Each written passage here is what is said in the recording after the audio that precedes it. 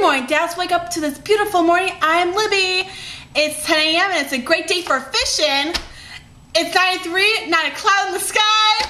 Here's Libby with the morning news. Hello, folks. Here's some breaking news. Mamalo just got busted for drugs. And here's Libby with the weather.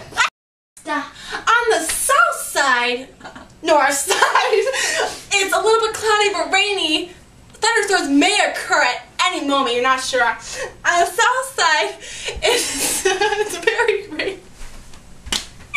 On the east side, it's sunny but a little cool. On the west side, it has a cool front coming. But anyway, oh my god! I got breaking news! Back to Libby. This just in. I'm Libby, and this is. Oh my god, that guy is so hot! Oh, sorry. I'm Libby! Oh my gosh, President John F. Kennedy just got shot in the head! And here's an exclusive clip.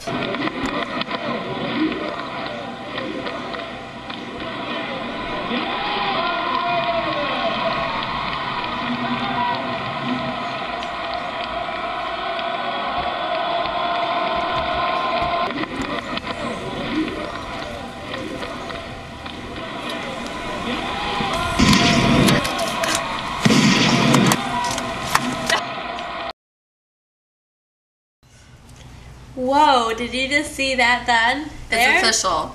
President JFK has been pronounced dead. This just in, Vice President Johnson is being inaugurated on Air Force One as we speak.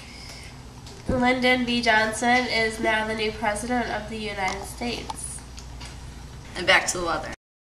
A new update on the weather. There's a 99% chance that it's already thunderstorming. Tornadoes will occur tonight here in Dallas, along with the hurricane in Florida. Back to the news. Thanks for tuning in for Fox 8 News. I'm Libby. And I'm Libby. We'll see you tomorrow.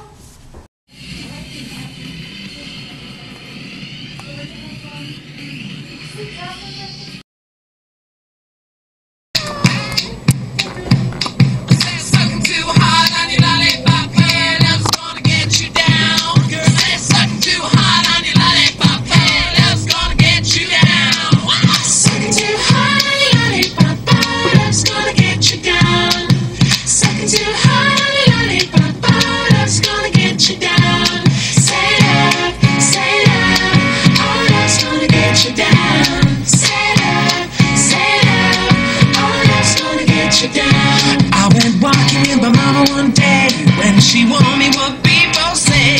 Live your life until love is fine.